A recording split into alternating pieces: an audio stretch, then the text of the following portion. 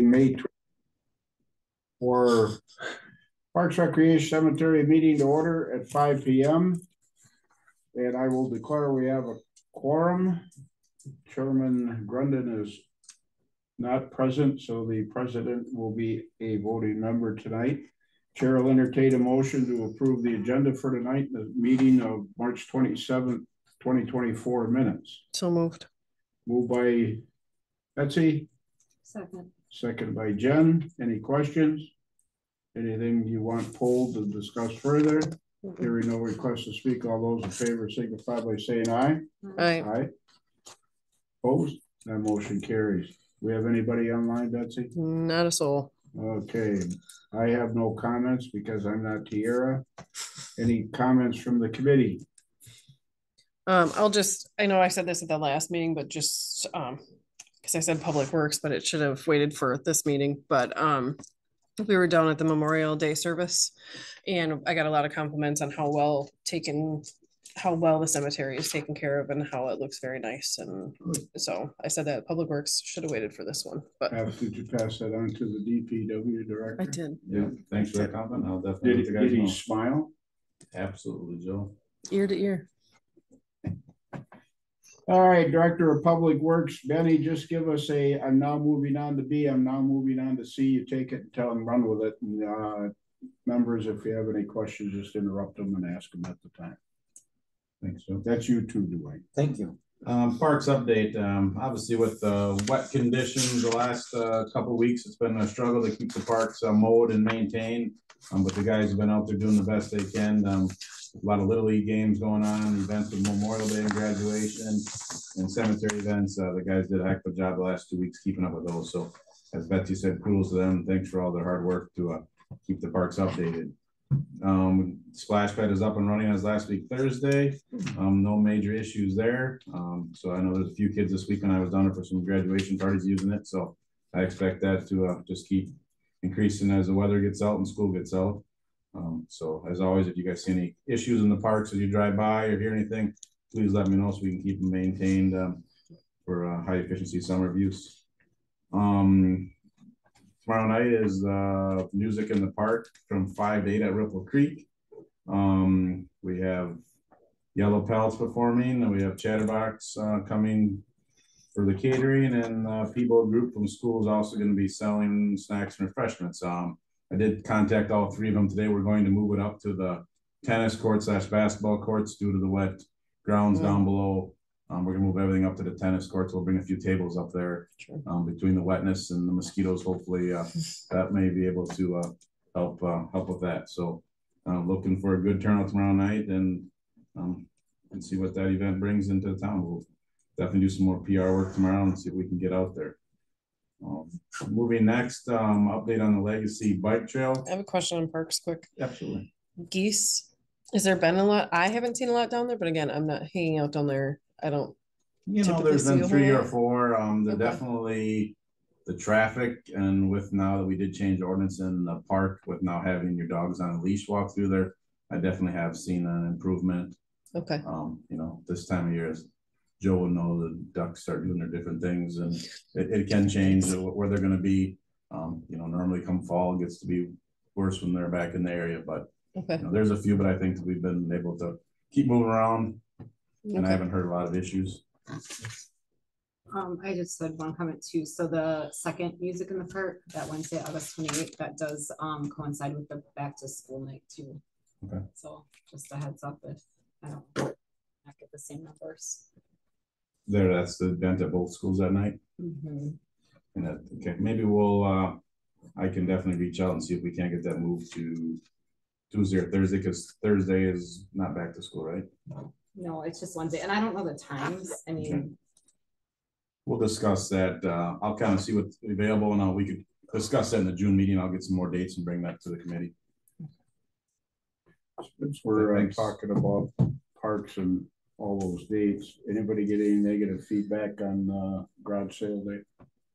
you know, No, I mean, it was, you know, obviously the, the, the traffic with the road construction definitely had a little bit of hindrance on some traffic, but um, people definitely seemed to get through town. The weather was good and I didn't hear any, uh, issues, so Well, I came through Friday afternoon about five thirty from Rapids down Seneca Road, and that told me already, you stay the hell off, excuse my language, Seneca Road and Port Road.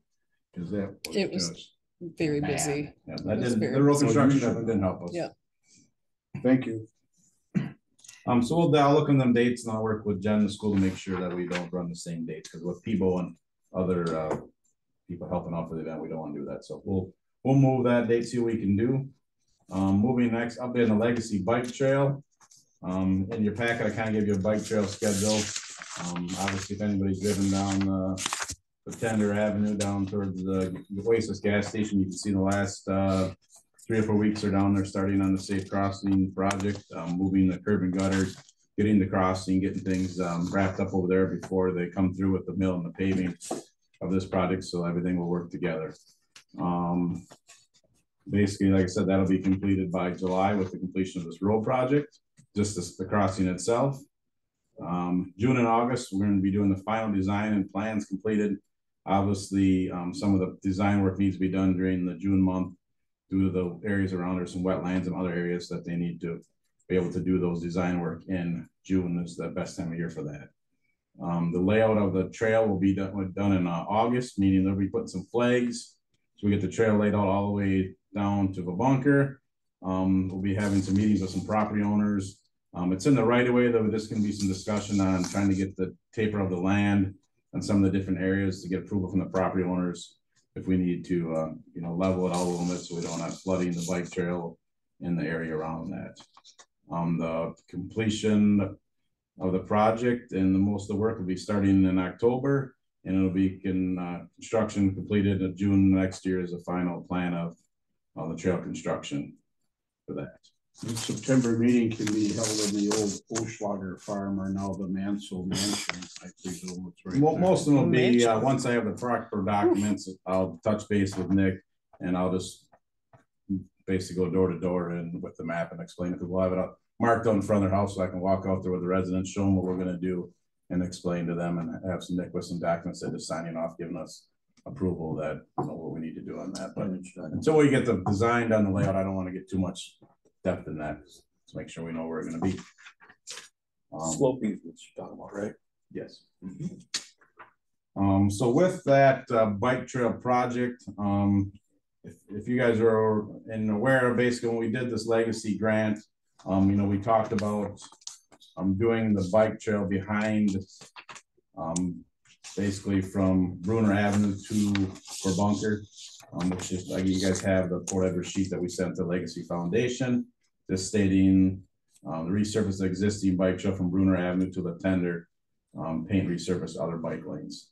Um, if you have not been on the bike trail from Bruner Avenue to the bunker, it's in rough shape. Um, just over the years, it's, you know, again, we, if anybody was here when we did this deal years ago, um, you know, we put it on an old railroad bed. It's, uh, down to our property that we do a lease with them. We don't own the property. Um, so it's, it's gonna change, it's gonna move. You know, we did the north end two years ago from Bruner to Seneca, and it's holding up pretty good. Now Jen can probably give us better, but I mean, it's definitely still smooth, I believe. Um, we're gonna do some crack filling up there, but the area from Bruner Avenue to Bunker needs to get replaced. Um, so including that in this, again, is we told Legacy in part of the grant that we'd be replacing that blacktop. And your, and your packet also has a bid to redo the back bike path, um, from Bruner Avenue to the Bunker. Um, and then if you also looking at the estimated price for the whole bike trail project, you know, if we had the numbers, you know, four fifty-five, there's, there's a five hundred thousand dollar grant. The pavement is sixty-eight. Um, there's some areas in the bike trail that we're gonna be able to do. There's relocation of hydrants and other things that would get to different departments. Um, so I, I feel strongly that we'd go ahead, we'd go ahead and repave that bike trail from Bruner to the bunker. And then, you know, as we get into next year, we can definitely regroup and see where the bike trail completion is you know, try to move a few things to different departments that would go underneath their area to make sure we have completion of the bike trail and the funding. Any questions for Ben? So that was more of an update. I mean, it was, you know, approved and we, we did this, just wanted to show you guys where everything was this to go ahead and um, get that repave that area into the funds would be and the financials for the whole legacy bike trail. I'll pass quickly over old business then, because that was back in March and I can't remember what the heck went on in March. Parks Committee. Old business or new business or correspondence received, anybody?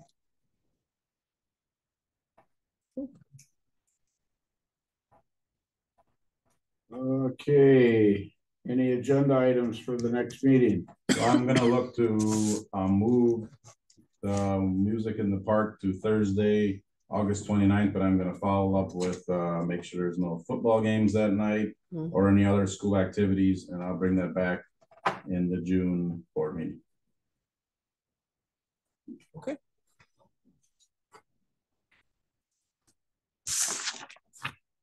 Uh, Committee, your opinion. Do we set a meeting or do we just? I just tell Tiara what we went over and she will set the next meeting. Marty, I'm okay with working with Tier and getting back to, I gotta get back to Jen and other committee members on a date. very good. Uh, during the summer. Here's one of those opportunities. If you're not gonna have a whole lot, just tell her that there's probably no reason to have a meeting in June. But July, you know, this time of year, it's good to have meetings because the parks are used pretty heavy, you know, and, uh.